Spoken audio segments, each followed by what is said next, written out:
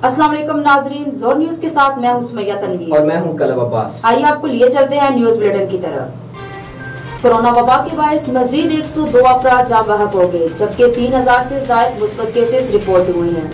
National command and operation centre की जानब से जारी करदा एदादोशुमार के मुताबिक गुजशत 24 घंटों के दौरान इक्यावन हज़ार पाँच सौ अट्ठाईस कोरोना टेस्ट किए गए। कोरोना के मरीजों की तादाद गुजशत 24 घंटों के दौरान मुल्क भर में मजीद तीन हज़ार सत्तर मुस्बत केसेस रिपोर्ट हुए हैं। सरकारी अदादोशुमार के मुताबिक अब तक सिंध में तीन लाख चार हज़ार पाँच सौ इकहत्तर, पंजाब में तीन लाख बत्तीस हज़ार, खैबर पख्तूनख्वा में एक लाख अट्ठाईस हज़ार पाँच सौ इकसठ, इस्लामाबाद में अस्सी हज़ार दस बलोचिस्तान में चौबीस हज़ार तीन सौ अठारह, आज़ाद कश्मीर में अठारह हज़ार पाँच सौ सैतालीस और गिलगित बल्तिस्तान में पाँच हज़ार चार सौ चौवन अफराद में कोरोना वायरस की तशखीस हुई है। कोरोना के फाल मरीजों की तादाद सरकारी अदादोशुमार के मुताबिक इस वक्त मुल्क भर में कोरोना के पाल मरीजों की तादाद तिरसठ हज़ार दो सौ उनतीस है, जबकि चार हज़ार ऐसी ज़्यादा मरीजों की हालत तशवीशनाक है। इसराइल ने मकबूजा फलस्तीन पर होलनाक बमबारी और मुजालम के बाद जंग बंदी का ऐलान कर दिया है। इसकी तायद में मुजामती हुरियत पसंद तंजीम हमास ने ग्यारह रोज से जारी जंग बंदी करने की तस्दीक की है। इसराइली वजी अजम के दफ्तर से जंग बंदी से मुतल एक बयान जारी किया गया है, जिसमें सिक्योरिटी कैबिनेट की जानब से मुतफ़ा तौर पर जंग बंदी की मंजूरी दे दी गई है। इस जंग बंदी में एक जानब आलमी और अकवा मुतहदा का दबाव शामिल है। तो दूसरी जानब मिस्र ने भी खसूसी किरदार अदा किया है। हमास ने कहा है कि जुम्मे की रात दो बजे से जंग बंदी पर अमल शुरू हो जाएगा। इससे कबल अमरीकी जराये अबलाग के मुताबिक गजा में गुजशत दस दिनों से जारी इसराइली बमबारी के बाद अब इसराइली हुकूमत और फलस्तनी मजामती तंजीम हमास के दरमियान जंगबंदी का अमकान ज़ाहिर किया जा रहा है। मिस्री हकाम ने हमास की क्यादत से मुजाकर किए थे, जबकि इसराइल ने फौजी अहदाफ हासिल करने का तरफ़ किया था। ताज़ा तरीन इतलात के मुताबिक जंग बंदी के ऐलान के बाद भी इसराइली फौज की जानब से बमबारी और फायरिंग का सिलसिला जारी रहा। पंजाब हुकूमत ने यकम जून से शादी हालों में 150 मेहमानों के साथ आउटडोर तकरीबात की इजाज़त दे दी। 24 मई से सियाती मकाम भी खोल दिए जाएँगे। पंजाब हुकूमत के नए नोटिफिकेशन के मुताबिक सूबा भर में तमाम कारोबारी सरगर्मियाँ रात आठ बजे तक जारी रह सकेंगी, जबकि हफ़्ते में दो रोज हफ़्ता और एतवार तमाम कारोबारी सरगर्मियाँ मुकम्मल तौर पर बंद रहेंगी। सूबे भर में इंडोर डाइनिंग पर मुकम्मल पाबंदी बरकरार रहेगी।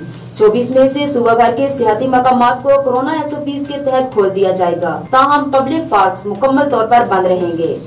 नोटिफिकेशन में एक मरतबा फिर तमाम शहरियों को मास्क की पाबंदी पर अमल दरामद कराने का कहा गया है। पंजाब के तमाम सरकारी और प्राइवेट दफातर 50 फ़ीसद अमले के साथ काम जारी रख सकेंगे।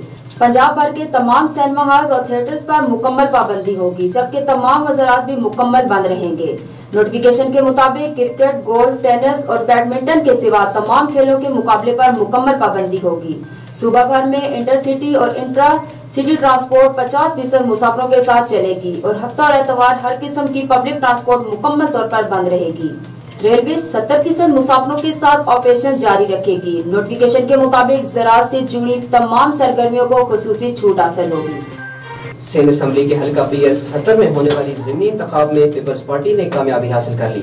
ज़ोर न्यूज़ के मुताबिक बदीन के इलाके मातरी में सिंध असम्बली की नशस्त पर पी एस सत्तर पर जिमनी इंतबात के लिए पोलिंग का आगाज़ सुबह आठ बजे हुआ, जो की शाम पाँच बजे तक बिलातातुल जारी रहा। जिमनी इंतखाब में पीपल्स पार्टी के उम्मीदवार हाजी मोहम्मद डाडा जे यू आई के मौलाना गुल हसन, तरीके लब्बैक पाकिस्तान के उम्मीदवार पीर मोहम्मद अली जान सरंदी और एम डब्ल्यू एम के असद अब्बास लोगारी समेत दीगर उम्मीदवारों ने हिस्सा लिया। वोटिंग मुकम्मल होने के बाद तमाम हलकों से मौसूला गैर सरकारी और गैर हतमी नतज के मुताबिक पीपल्स पार्टी के उम्मीदवार हाजी मोहम्मद टाडा ने कामयाबी हासिल कर ली। हल्के में रजिस्टर्ड वोटों की तादाद एक लाख छियासठ हज़ार आठ सौ नौ है। मर्द वोटर्स के रजिस्टर्ड वोटों की तादाद इक्यानवे हज़ार पाँच सौ सतासी, जबकि खातन वोटर्स के रजिस्टर्ड वोटों की तादाद पचहत्तर हज़ार दो सौ बाईस है। हल्के में कायम एक सौ तेईस पोलिंग स्टेशन में से इकतालीस को हसास और बारह को इंतहाई हसास करार दिया गया।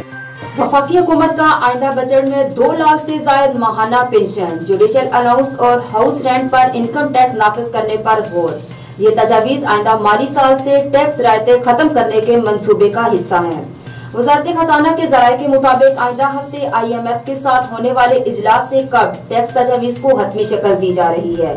सराय का कहना है कि एक तजावीज ये है कि रिटायर्ड सिविल सर्वेंट जजों और जनरलों की इनकम टैक्स से मुस्तना पेंशन पर इनकम टैक्स आयद कर दिया जाए।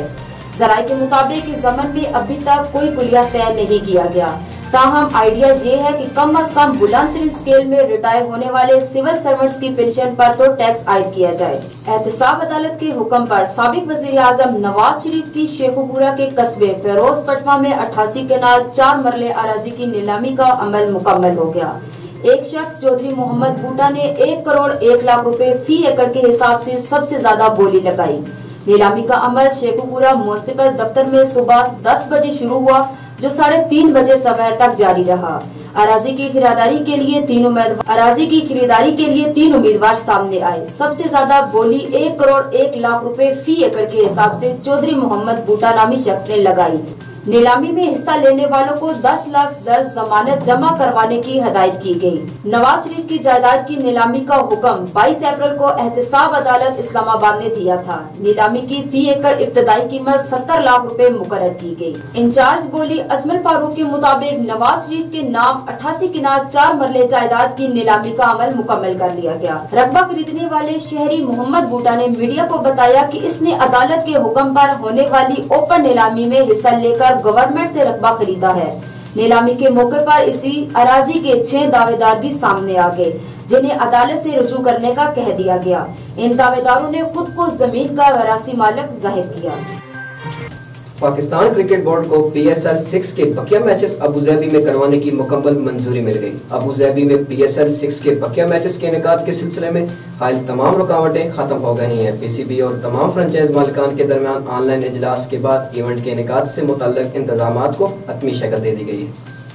Chief executive PCB Wasim Khan के मुताबिक, हम अब इवेंट के इनका के लिए मुकम्मल तौर पर तैयार हैं। हम मुतहदा अरब अमारात की हकूमत management authority Emirates cricket board और अबूजहाबी स्पोर्ट्स काउंसिल के मशहूर हैं।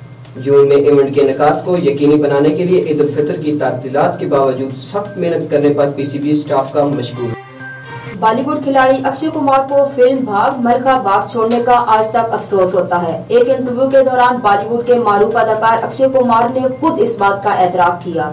कि मुझे फ़िल्म भाग मलका भाग न करने का बहुत अफसोस हुआ। ये फ़िल्म जब ऑफ़र की गई थी, उस वक्त मैं एक और फ़िल्म की शूटिंग में मसरूफ था, जिसकी वजह से मैंने ये फ़िल्म करने से इनकार कर दिया। एक तकरीब के दौरान अक्षय कुमार ने इस बात का एतराफ किया कि फ़िल्म भाग मलका भाग छोड़ने का बहुत अफसोस होता है। इसके बदले में मैंने फ़िल्म साज एकता कपूर की film once upon a time in Mumbai दोबारा की तहम मुझे फरहान अख्तर की फ़िल्म न देखने का भी अफसोस होता है। वाजिया रहे की once upon a time in Mumbai का शुमार अजय देवगन की कामयाब फ़िल्मों में होता है। तहम फ़िल्म का सीक्वल अक्षय कुमार ने किया, जो नाकाम साबित हुई थी। इसके बारे फरहान अख्तर ने अदाकारी के ज़ोर दिखाए थे और ये फ़िल्म सुपरहिट हुई।